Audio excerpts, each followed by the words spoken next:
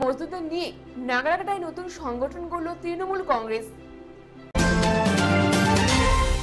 মুটিয়া মজদুরদের নিয়ে নাগরাকাটায় নতুন সংগঠন করল তৃণমূল কংগ্রেস।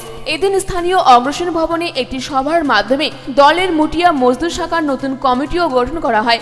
মোট পনেরো জনের কমিটিতে সভাপতি, সম্পাদক ও কোষাধ্যক্ষ হিসেবে মনোনীত করা হয়েছে কুমার সাঁতওয়াল অন্নু টোপ্প ও রূপেশ মাইলিকে উপদেষ্টা পদে বেছে নেওয়া হয় যথাক্রমে পান্ডরা মারান্ডি ও মোহাম্মদ হোসেনকে। উল্লেখ্য দু হাজার এগারোতে ক্ষমতায় আসার পর এই প্রথম এলাকার মুটিয়া মজদুরদের নিজেদের ছত্রছায়ায় নিয়ে আসতে পারল তৃণমূল। এদিনের সভায় মুখ্য বক্তা ছিলেন শ্রমিক নেতা তথা জলপাইগুড়ি জেলা পরিষদের মেন্টর অমরনাথ ঝা অসিতাভ বসু, আদাজ আনসারি সহ প্রমুখ।